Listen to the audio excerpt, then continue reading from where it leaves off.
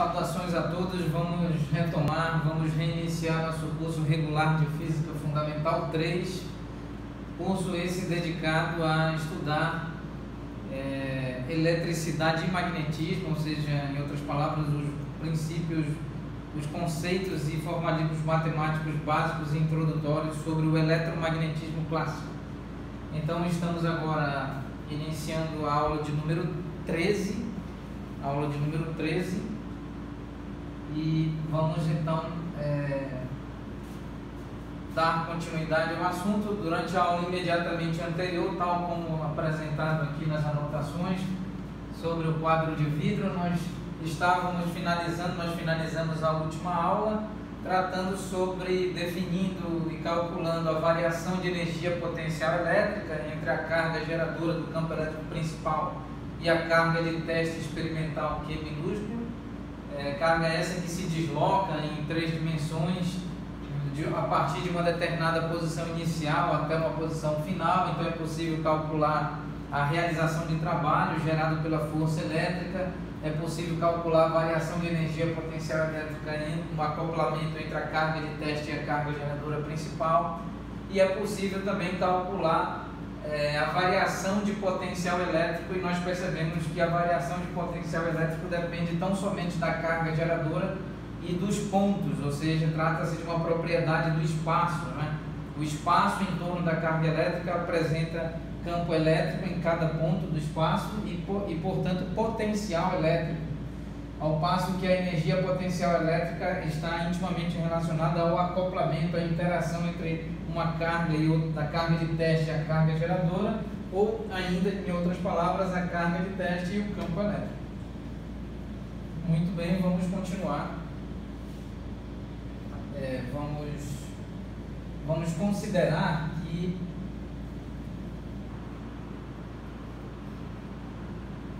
vamos considerar a seguinte situação física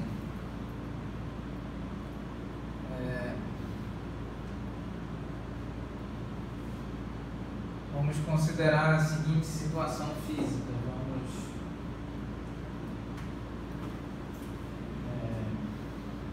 É, aqui, a carga elétrica geradora do campo elétrico, para efeito de simplicidade matemática, coincide tridimensionalmente, em termos de localização, com a origem do sistema de coordenadas.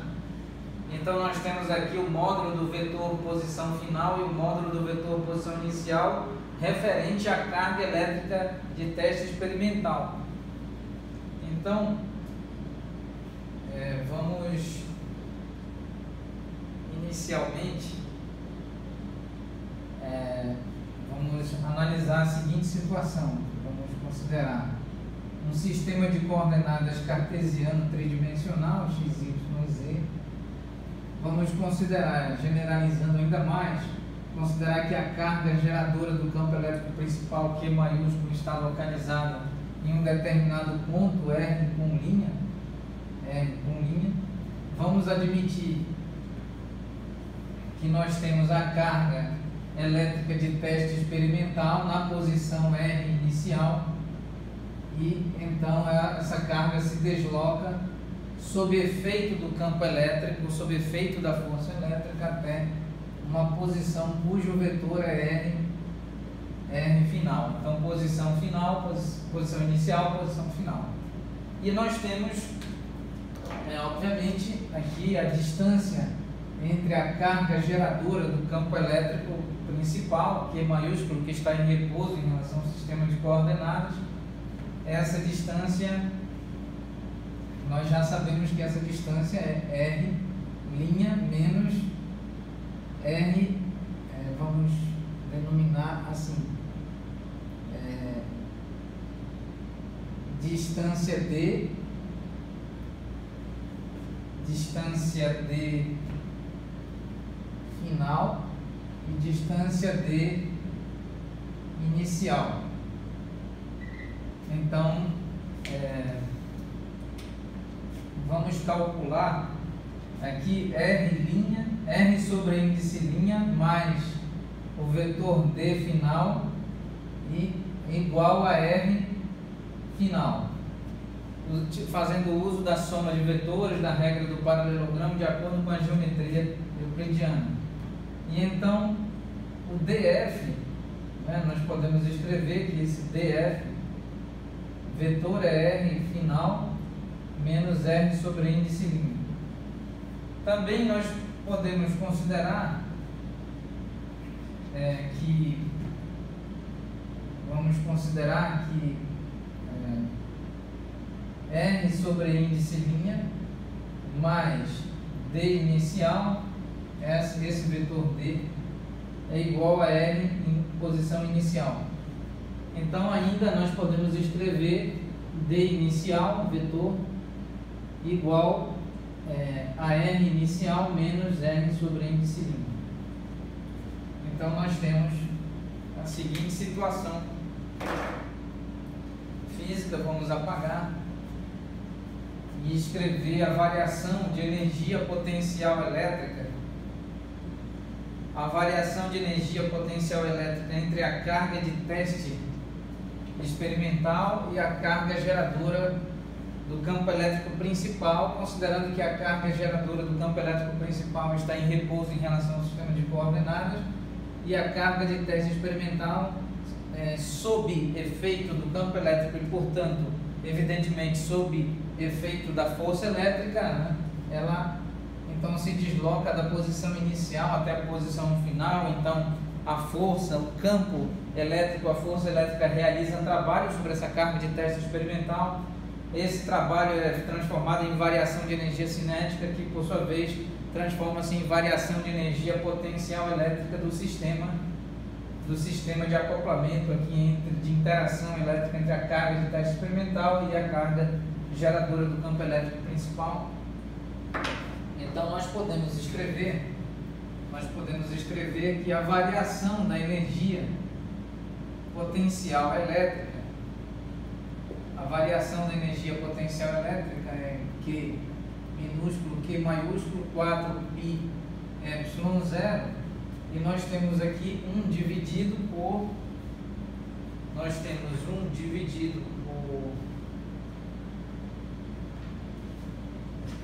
é, 1 dividido por essa distância onde está essa distância DF aqui DF módulo do vetor DF menos 1 dividido pelo módulo do vetor DI muito bem. Então, continuando, nós temos variação da energia potencial elétrica igual enquanto estamos admitindo previamente que essas cargas elétricas, essas estruturas materiais pontiformes, dotadas de massa de carga elétrica, estão imersas em um espaço euclidiano de três dimensões, e em um vácuo do tipo clássico, com ausência de matéria, com ausência de, de elétricos, de átomos e moléculas, de, de íons, de, de cristais, de retículos cristalinos, com ausência total de átomos. Então, é, DF, então nós podemos escrever 1 dividido por DF igual a R, F menos R sobre índice linha, módulo, menos 1 dividido por R inicial menos R sobre índice linha módulo. Então essa é uma forma mais geral de escrever a expressão. Por que mais geral? Porque nós estamos considerando a carga elétrica geradora do campo elétrico é, distante da origem do sistema de coordenadas. Isso dá um aspecto, dá, um, dá então um caráter de maior generalidade para a expressão.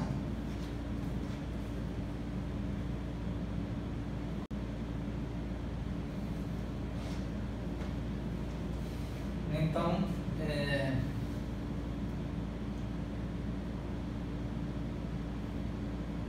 muito bem.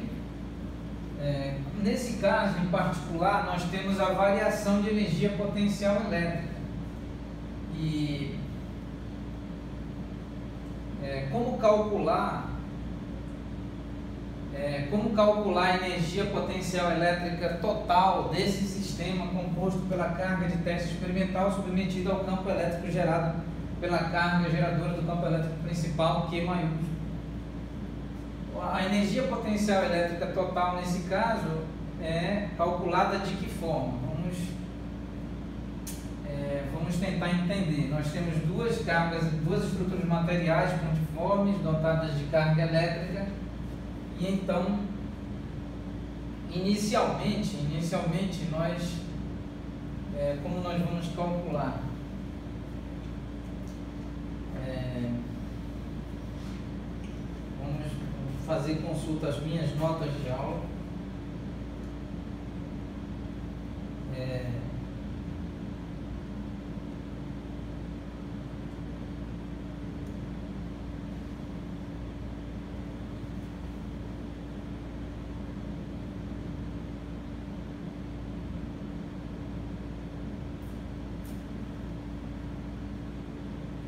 consultando minhas notas de aula,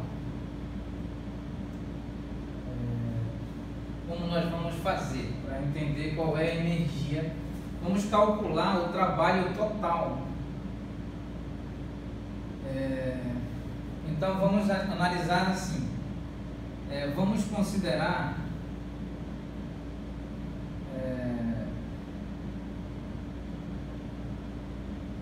Vamos considerar um determinado sistema de coordenadas x, y, z e vamos considerar que esse espaço tridimensional está totalmente vazio. Nós vamos admitir que existe um vácuo, um vácuo do tipo clássico, um vácuo no, no, no aspecto clássico, do, do, do, do, sentido clássico do que é vácuo. Então, com a ausência total de matéria com ausência total de átomos e moléculas, com ausência total de matéria, de estrutura material dotada de massa, dotada de carga elétrica, há uma ausência total, um vácuo completo. Então nós vamos considerar aqui, nós vamos considerar que a carga elétrica geradora do campo elétrico principal, ela é trazida, por assim dizer, é deslocada, por assim dizer, é, por algum método sobre o qual nós não sabemos exatamente, então ela é deslocada de uma, de uma região infinitamente distante, ou muito, muito, muito, muito distante desta região, da região espacial, muito, muito distante dessa região. Nós vamos então admitir que essa carga elétrica é trazida e aqui nesse momento ainda não existe hipoteticamente campo elétrico. Não existe carga geradora de campo elétrico, não existe qualquer quantidade de campo elétrico aqui, qualquer densidade volumétrica de energia associada a algum campo elétrico, então existe um vácuo e não existe campo elétrico. Então nós vamos trazer de alguma região, por assim dizer, inicialmente nós vamos, de alguma maneira, essa carga elétrica se desloca e se posiciona, ela sai de uma determinada posição inicial e se desloca para uma posição final permanente. Então aqui nós vamos considerar é, nós vamos admitir que então existe uma posição inicial e essa carga elétrica geradora, agora sim, geradora do campo elétrico principal nesta tal região, próximo ao sistema de coordenadas, nós vamos então indicar aqui como R, é, como R sobre índice linha. O R sobre índice linha. E qual é o trabalho gerado pela força elétrica nesse caso? o trabalho gerado pela força elétrica nesse caso é rigorosamente igual a zero. Por que igual a zero? Porque não há força elétrica que desloca, não há força elétrica do tipo elétrico que desloca essa carga elétrica de uma determinada região até essa, essa posição, exatamente. Então nós podemos, inclusive, é, é, admitir hipoteticamente, que essa carga foi colocada aqui, de alguma maneira surgiu a carga elétrica aqui. Até o fato de admitir que ela foi trazida de algum local, é, sob influência, é, assim, sob, sob é, ou assim, não submetida à influência de força elétrica, porque nós estamos admitindo que não, que não existe uma força elétrica que que submete essa carga elétrica ao deslocamento. Nós estamos admitindo que, a partir de um, por meio de um outro processo, essa carga elétrica Q maiúscula é trazida e localizada fixamente aqui, neste ponto, nas proximidades do sistema de coordenadas. Nós estamos admitindo que, por algum tipo de processo, e qualquer que seja o processo não está associado à força elétrica. Então não estamos considerando, precisamos descartar isso, de que houve a ação de uma força elétrica que conduziu essa carga elétrica, essa estrutura material dotada de massa e de carga elétrica, é, desse ponto para esse ponto. Então nós estamos de, é, desvinculando essa ideia, certo? De que houve a ação de uma força elétrica. Estamos admitindo que não houve, que não há a ação de uma força elétrica que faz a carga elétrica estar nessa posição. Então qual o processo? Não sei. Vamos admitir que por algum outro processo essa carga elétrica é, é, é surgiu e agora se localiza fixamente nesta posição. Inclusive, do ponto de vista laboratorial, ela pode, essa estrutura um, um pontiforme dotada de massa de carga elétrica ela não precisa de exatamente de uma força elétrica para ser colocada aqui, pode ser por um outro tipo de procedimento laboratorial que a conduza e a estabeleça aqui nessa posição do espaço tridimensional. Então, o trabalho realizado pela força elétrica, o trabalho 1 realizado pela força elétrica para que essa carga se desloque de, por algum tipo de método, de método, de processo, até essa posição, então é igual a zero, até pelo fato de que inicialmente não existe força elétrica, então necessariamente o trabalho é realizado pela força elétrica. Essa não existindo previamente, então o trabalho é igual a zero. Agora, é, vamos considerar é, é, vamos considerar agora o trabalho é, realizado como segundo caso Sim, agora vamos considerar, vamos aproveitar esta, esta figura e considerar aqui é, que já existe, vamos apagar, já existe então uma configuração, a força elétrica não realizou trabalho para que essa carga elétrica seja posta aqui, então agora sim nós temos efetivamente um campo elétrico gerado no espaço tridimensional gerado por esta carga geradora do campo elétrico principal.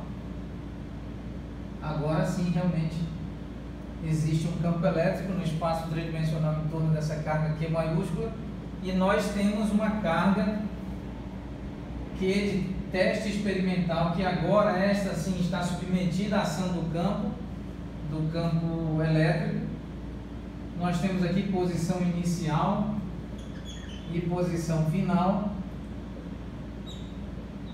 Então houve sim um deslocamento e esse deslocamento desta carga elétrica de teste experimental ocorre sob ação de uma força elétrica. De fato ocorre sob ação de uma força elétrica.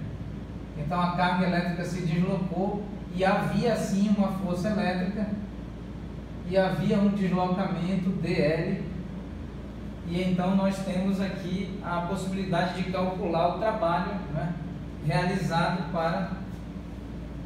E o trabalho realizado, o trabalho número 2. O trabalho realizado nós já calculamos para deslocar essa carga elétrica de teste experimental da posição R inicial até a posição R final. Nós já calculamos é, devidamente.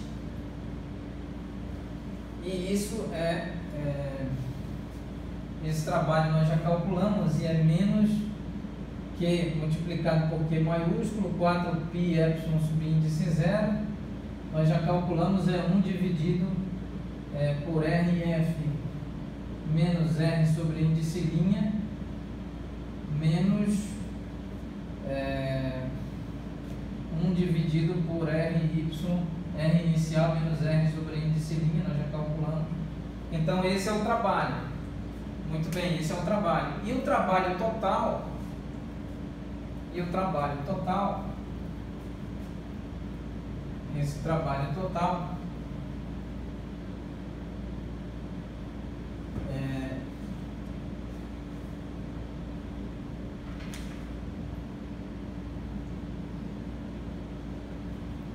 então o trabalho total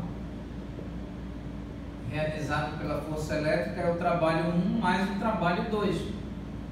Então, o trabalho total, rigorosamente, é o trabalho 1 que é igual a zero, ou seja, a força elétrica não existia, não existia campo elétrico, não existia força elétrica, e por algum outro tipo de método, sobre o qual é, eu não sei aqui explicar qual método, mas existe é, do ponto de vista laboratorial, algum método que, que estabeleça a nova posição dessa carga elétrica, que, a, que traga essa carga elétrica, que busque essa carga elétrica e que, e que é, transporte, translade essa carga elétrica sem efeito de força elétrica e de alguma maneira essa carga elétrica esteja posicionada próximo ao sistema de coordenadas. Então, o trabalho 2, pelo contrário, nós já sabemos calcular, uma vez que existe a força elétrica, existe o campo elétrico gerado pela carga é, geradora do campo elétrico principal. Então, nós temos é, esta expressão RF menos R sobre índice linha menos 1 dividido por R inicial menos R sobre índice linha módulo. Aqui está. Então o trabalho total, o trabalho total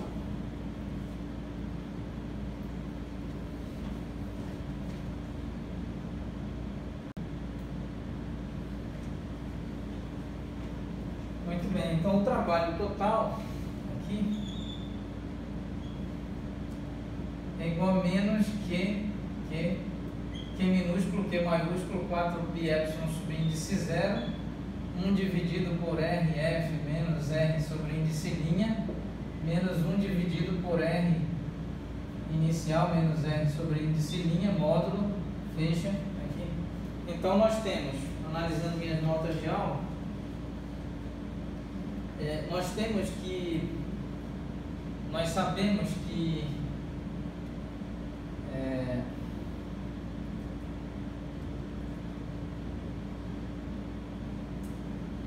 é, é quando se calcula quando se calcula a variação de energia potencial elétrica é, nós estamos considerando uma configuração inicial e uma configuração final, certo? Então a configuração inicial é a configuração aqui, no caso em que não havia cargas elétricas no espaço tridimensional em torno do sistema de coordenadas, então é, o trabalho, ou seja, a energia potencial era zero, o trabalho igual a zero e a energia potencial elétrica igual a zero. E então, quando surge a nova configuração, então essa nova configuração está, ela pode ser entendida como uma, uma espécie de estado final né? Nós consideramos a configuração inicial e a configuração final. A configuração inicial não havia carga elétrica qualquer. Então essa carga elétrica foi posta aqui e o trabalho realizado é igual a zero. Agora, o trabalho realizado para aproximar essa carga de teste da carga geradora do campo elétrico principal gera uma variação de energia potencial elétrica. Então nós estamos considerando a configuração 1 e a configuração 2 configuração final menos configuração inicial. Então nós podemos entender aqui, é, nós podemos entender que se nós é, classificarmos como variação de energia potencial é, elétrica, mas é uma variação em que envolve o a primeiro estado, a primeira configuração de estado onde a energia potencial elétrica é zero e a segunda configuração de estado físico onde a energia potencial elétrica é algum valor. Então, fazendo algum valor, estado final menos o estado inicial, nós temos, e o estado inicial sendo igual a zero, então a variação é igual ao valor final, certo? Então, sempre que nós precisarmos calcular uma variação de uma determinada grandeza, variação da grandeza x, delta x, é igual a posição, é igual a x final menos x inicial, qualquer que seja o observável físico. Então, é, se a, a, a, o x inicial é igual a zero, então a variação é igual ao x final, qualquer que seja o observável físico. E essa, essa comparação, essa, esse exemplo, essa analogia é feita então para sustentar aqui a nossa afirmação sobre é, energia potencial é, elétrica total total, porque nós já estamos é, considerando que a configuração inicial é, é, igual a zero e a final é um determinado valor. Então, quando nós fazemos essa variação, é, nós podemos então afirmar que é, então nós temos menos o trabalho total E isso é, é vamos então apagar aqui esta faixa do quadro. Então nós podemos escrever, sem qualquer perda de generalidade, nós podemos escrever aqui a energia potencial elétrica total. Energia potencial elétrica total. Como menos o trabalho total. Então, menos o trabalho total, nós temos como resultado menos 1 multiplicado com menos 1 é igual a mais 1. E o resultado é Q minúsculo, Q maiúsculo, 4π epsilon subíndice zero. Estamos considerando que ambas as cargas elétricas estão imersas em espaço tridimensional do tipo vácuo clássico. E então nós temos 1 dividido por R final menos R sobre índice linha menos 1 dividido por R inicial menos R sobre índice linha. Muito bem. Então, esta expressão caracteriza a energia potencial elétrica total de um sistema composto por duas estruturas pontiformes dotadas de massa de carga elétrica. Então, nós temos a energia potencial elétrica total. Por que ela pode ser considerada energia potencial elétrica total e não variação de energia potencial elétrica? A resposta é porque nós, está, nós consideramos que inicialmente o trabalho realizado para, de alguma maneira, é, localizar essa carga elétrica Q maiúsculo na posição em torno do, do sistema de referência, o trabalho é zero. E então a segunda configuração, que gera obviamente uma variação, mas é uma variação sobre o número zero. Então, nós podemos afirmar que a nova configuração gerada por esta variação é uma configuração que envolve toda a energia potencial elétrica, ou seja, a energia potencial elétrica total do sistema, uma vez que o sistema é composto por duas cargas elétricas somente, por duas estruturas pontiformes dotadas de massa de carga elétrica. Então, nesse caso, nós podemos afirmar sem perda de generalidade e sem qualquer receio sobre equívoco conceitual é, ou, ou algébrico de que essa é a energia potencial elétrica total de um sistema com duas estruturas pontiformes dotadas de massa de carga elétrica. Então aqui não devemos confundir, uma vez que o trabalho é igual à variação da energia cinética e a variação da energia cinética é igual a menos a variação da energia potencial elétrica. Então, em tese, o trabalho é menos a variação da energia potencial elétrica e não energia potencial elétrica total. Porém, nós estamos reafirmando, nós estamos analisando caso a caso, a situação em sua plenitude, em sua completude, todas as situações é, relacionadas a como a, a, carga, a carga Q maiúsculo surgiu e então não houve realização de trabalho. Estamos somando todos, todos os possíveis trabalhos, todas as possíveis variações de energia potencial elétrica. Por isso podemos afirmar com segurança esta expressão. Então, é, ainda como nós podemos fazer é, Vamos tentar agora. Muito bem, vamos considerar que o R inicial, vamos considerar que o R inicial é,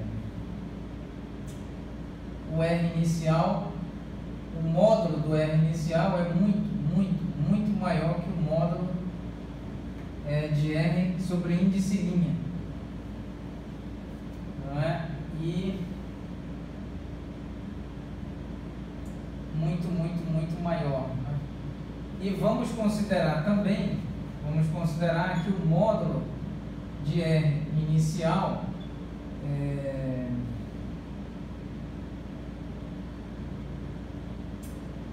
vamos considerar assim, que o módulo de R inicial, R vetor, é muito, muito maior do que o módulo de R final menos R sobre índice linha. Ou seja, e o que isso significa fisicamente? Né? Isso significa que a posição inicial da carga de teste, ou seja, vamos tentar aqui é, escrever x, y, z. Então aqui nós temos a carga Q, R sobre linha, nós temos a carga Q minúsculo com R final, e nós temos um R inicial cuja distância é muito, muito, muito maior. Então, assim, nós estamos considerando que a carga elétrica de teste experimental, a carga elétrica de teste experimental, ela é proveniente de regiões muito, muito, muito, muito distantes em relação ao sistema de coordenadas ou mesmo em relação à carga elétrica geradora do campo elétrico. Então ela vem tipo do infinito físico e não do infinito matemático, mas vem do infinito físico. O infinito físico, é, o infinito matemático pode ser entendido no, nosso, no âmbito do nosso universo observável como um infinito físico, ou seja, o universo observável possui um, dimensões infinitas, pelo que a cosmologia, a relatividade geral entende, acredita-se que não. Mas de todo modo nós estamos considerando que a distância é muito maior. Ou seja, que é, o vetor R inicial apresenta um módulo que é muito, muito, muito maior do que as distâncias que envolvem aqui a nova distância entre a carga de teste e a carga geradora do campo elétrico principal.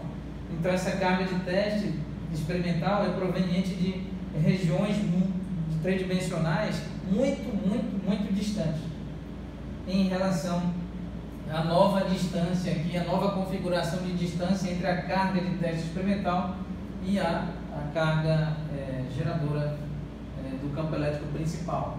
Então, nesse caso, nesse caso nós podemos aplicar limite é,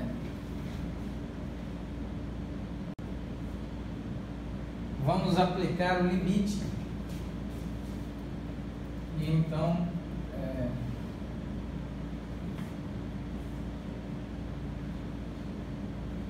então vamos aplicar o limite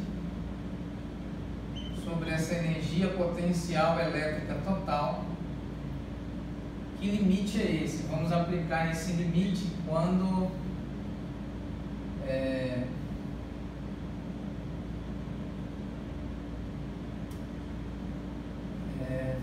aplicar o limite quando R inicial menos R é, sobre índice linha é muito maior que o R final menos R sobre índice linha, muito maior. Aplicar sobre a energia potencial elétrica total. Então, quando nós aplicamos esta, este limite, então nós estamos aplicando o limite sobre essa expressão. Então, nós temos. É, se o termo que está nesse denominador é muito maior que o termo que está nesse denominador, então essa divisão é muito, muito menor do que essa divisão. Isso implica, isso implica que nós podemos desprezar aproximadamente esse termo em comparação com esse, pois se esse termo é muito maior do que esse, ambos estão no denominador aqui, então necessariamente o resultado dessa divisão é muito, muito menor do que o resultado dessa divisão. Então, se nós aplicarmos é, nós podemos então escrever o Q, Q maiúsculo, Q minúsculo, Q maiúsculo, 4π subíndice 0, escrever como aproximadamente, aproximadamente 1 dividido por R final menos R sobre índice linha. Aproximadamente. Por que aproximadamente? Porque nessa configuração, nessa configuração, é, 1 dividido por R é, final menos R sobre índice linha é muito, muito maior do que 1 dividido por R inicial menos R sobre índice linha módulo. Então, se é muito maior, nós podemos escrever aproximadamente esse termo, considerando apenas esse termo. Por quê? Porque o módulo do R vetor inicial é muito, muito maior do que o módulo de R sobre índice linha. Ou seja, essa carga vem de uma região muito, muito distante da origem do sistema de coordenadas em relação à distância da carga elétrica principal, da carga elétrica geradora do campo elétrico principal, em relação à origem do sistema de coordenadas. Ou de outro modo, essa distância aqui entre a carga Q e a carga Q na posição inicial é muito, muito maior do que essa distância. Então nós podemos escrever assim e com base nesse limite nós podemos fazer essa aproximação e trata-se de uma boa e razoável aproximação. Certo, então nós temos a energia potencial elétrica total desta forma quando Em qual configuração? Quando essa carga elétrica de teste experimental é proveniente, é trazida sob efeito da força elétrica, sob efeito da força elétrica. E que força elétrica é essa? É a força elétrica, é a força elétrica é, gerada pelo campo elétrico, né, que, é, que está é, representando aqui a interação do campo elétrico gerado pela carga Q maiúsculo com a carga de teste experimental. E essa força realiza um trabalho e nós estamos então calculando. Agora, vamos tentar é, muito bem. Então, é, vamos fazer uma generalização agora, certo? Vamos generalizar para vamos tentar generalizar para um conjunto, uma distribuição discreta de cargas elétricas. É, e essa distribuição discreta de cargas elétricas responsável pela geração de um campo elétrico principal. Então vamos estudar o caso. É, vamos estudar o seguinte caso. Vamos considerar um sistema de coordenadas x, y, z. Então vamos considerar que a carga elétrica geradora principal Q1, a carga elétrica geradora principal Q2 e a carga elétrica geradora principal Q3 até uma carga elétrica geradora principal Q sobre índice, subíndice N maiúsculo. Então nós temos R1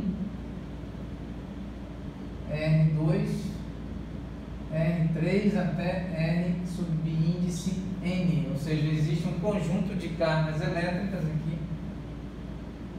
um conjunto N, onde N é um número natural diferente de zero, maior que zero, ou seja, vale 1, 2, 3, 4, 5, 6, até um número infinito, inclusive. Então, essa distribuição é uma distribuição discreta de estruturas materiais pontuais dotadas de massa e de carga elétrica e nós temos uma carga elétrica aqui, que é proveniente aqui de uma região infinitamente distante ou muito, muito distante da origem do sistema de coordenadas e, portanto, muito, muito distante da, do espaço tridimensional ocupado por essa distribuição discreta de cargas elétricas. Então, vamos admitir aqui a posição R inicial e essa carga elétrica, então, é submetida a um a submetida à ação de força elétrica e ela se desloca então sob a ação de um, do campo elétrico gerado por toda essa distribuição, certo? E portanto existe uma força elétrica que gera um trabalho e ela é deslocada até a posição R final. Muito bem.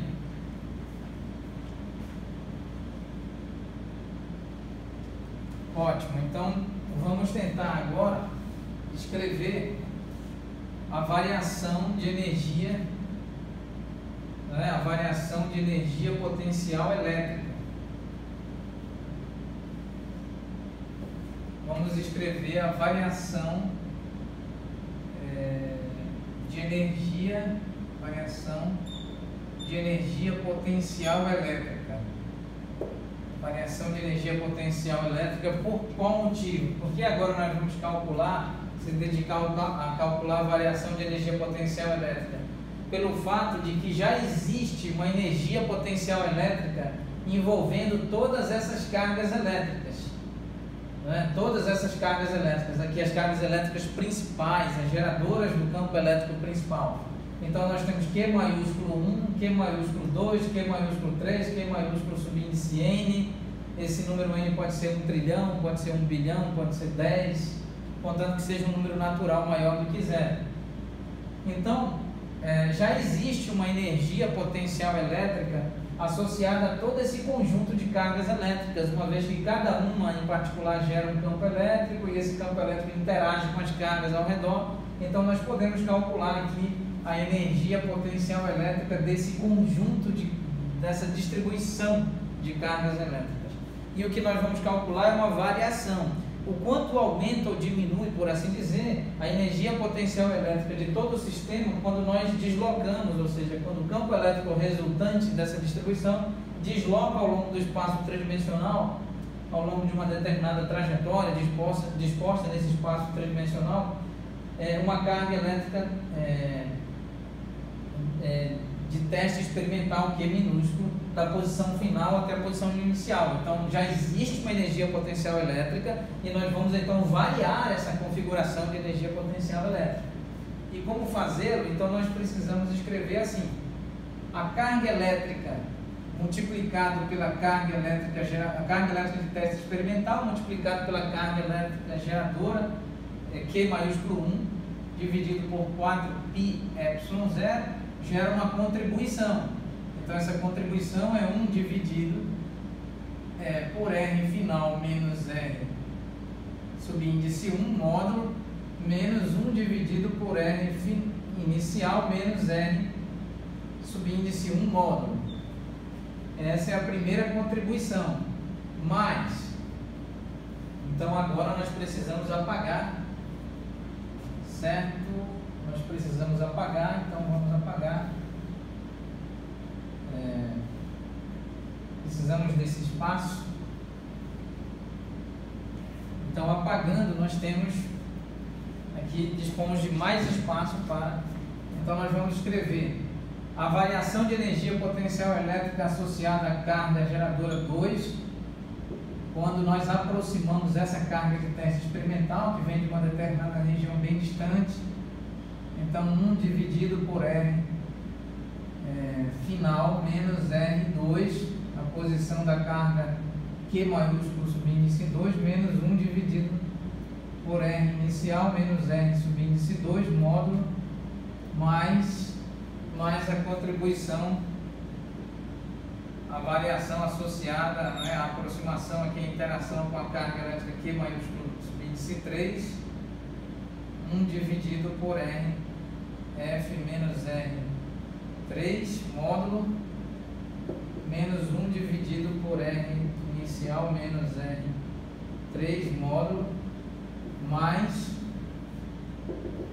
mais, mais diversos termos até o último termo que envolve Q carga multiplicado por carga elétrica geradora Q subíndice N maiúsculo 4π epsilon 0 1 dividido por RF menos R subíndice N módulo menos 1 dividido por R inicial menos R subíndice N módulo então nós temos aqui vários termos, aqui nos pontinhos, pontinhas, nessas reticências, indicando que existem vários termos até chegar ao no termo N, o N no subíndice aqui, o N maiúsculo. Então nós podemos escrever, é, nós podemos escrever essa expressão fazendo então aqui a variação de energia potencial elétrica é igual a Q, se pusermos os termos em evidência aqui, esses termos, Q dividido por 4π epsilon subíndice zero, então nós podemos então escrever o somatório, não é? o somatório em I, variando de 1 até N maiúsculo, envolvendo então a carga elétrica subíndice I, carga elétrica geradora, e aqui nós temos RF menos R subíndice I módulo menos 1 dividido por R inicial menos R subíndice I módulo. Muito bem, esta é uma expressão geral. Vamos agora fazer uma segunda análise.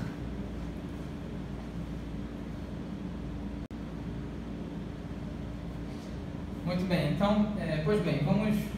É, aqui nós calculamos qual é a variação de energia potencial elétrica quando nós temos uma configuração é, uma configuração tal que existem cargas elétricas principais ou geradoras de campo elétrico do campo elétrico principal, agora são N cargas elétricas compondo uma distribuição discreta de cargas elétricas, então nós temos carga elétrica Q maiúsculo Q subíndice 1, carga elétrica Q maiúsculo Q subíndice 2, carga elétrica Q maiúsculo Q subíndice 3, até a carga elétrica Q maiúsculo Q subíndice N, N maiúsculo então indicando aqui é, que existem é, um número N maiúsculo de estruturas materiais pontiformes dotadas de carga elétrica. E essa estrutura, essa distribuição discreta, ela, ela é, por assim dizer, é, descreve é, ou gera um campo elétrico total em torno, no espaço tridimensional em torno dessa tal distribuição discreta de cargas pontuais, de, de estruturas materiais pontiformes dotadas de carga elétrica.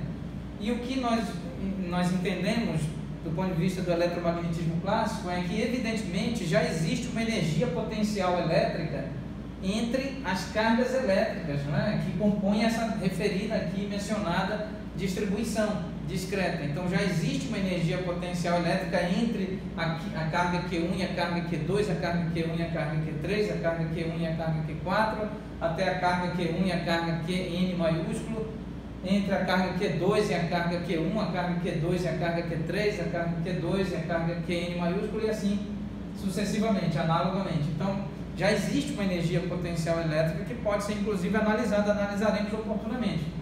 Mas o que nós calculamos aqui, especialmente, é se supusermos uma carga elétrica de teste experimental, que é proveniente de uma região bastante distante em relação à região é, é, tridimensional ocupada pela referida distribuição de cargas elétricas.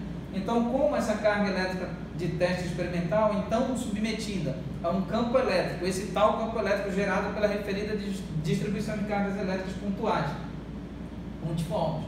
É, como que essa carga elétrica de teste experimental ela se desloca? Então, esse campo elétrico, por meio de uma força elétrica, realiza um trabalho e desloca a carga de teste experimental da posição inicial, R inicial, até a posição final, R final. E o que nós percebemos é que já existe previamente, que existe previamente uma energia potencial elétrica do sistema composto pelas N cargas, Q maiúsculo, e agora nós temos um acréscimo, nós temos uma interferência, uma variação. Então a, a aproximação dessa carga de teste gera uma variação de energia potencial elétrica.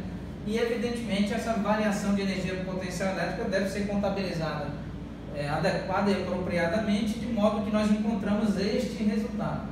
Então, este resultado aqui, para efeito, de, para efeito didático, nós vamos encerrar a aula nesse momento, a aula de número 12, e estaremos iniciando a aula de número 13 oportunamente para tentar tratar caso, é, tentar fazer aqui análises.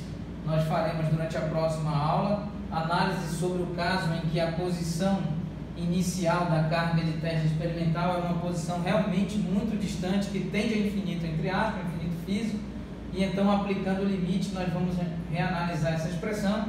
Também é, vamos é, entender melhor sobre como calcular, é, como fazer essa análise considerando é, uma distribuição contínua de cargas elétricas, então aqui nós calculamos para uma distribuição discreta de cargas elétricas, nossa intenção é calcular para uma distribuição contínua de cargas elétricas e ainda tentarmos fazer uma generalização de como calcular a energia potencial elétrica total de um sistema com N cargas elétricas.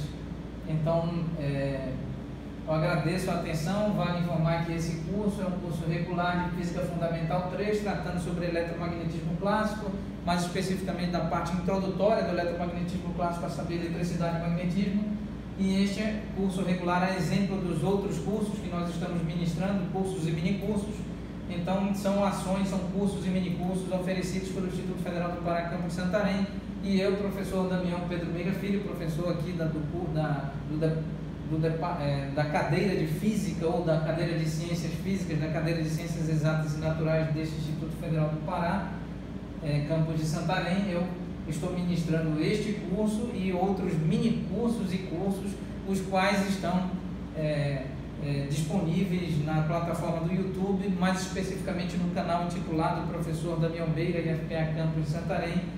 E se, é, quando é, todos vós dispuserdes de tempo suficiente, sugiro modesto e respeitosamente acessar, verificar, é, assistir os vídeos, as aulas dos cursos e minicursos, fazer comentários, fazer observações, considerações, críticas construtivas, apresentar sugestões de correção, de optimização, de aperfeiçoamento, de revisão, e então faremos revisão, revisitaremos o material, nossas notas de aula e, e, e então vamos, estamos com o compromisso de aperfeiçoar nosso trabalho. E, e então é, o nosso curso, o nosso, essa, essa página aqui referida, professor Daniel Meira e FPA Campo de Santarém, este canal no YouTube, sediado no YouTube, ele é, propõe-se a apresentar cursos e minicursos sobre ciências exatas e naturais e assuntos relacionados à engenharia, ministrados por mim e por pessoas convidadas, por professores e técnicos do Instituto Federal do Pará, convidados, entre outros pesquisadores de outras instituições parceiras, para então fazer a apresentação sobre temas relacionados às ciências exatas e naturais, às engenharias de modo geral e certamente é, sobre, sobre temas associados a qualquer área do saber científico. Então eu agradeço a atenção e retomaremos a, a próxima aula em breve. Muito obrigado pela atenção. Obrigado.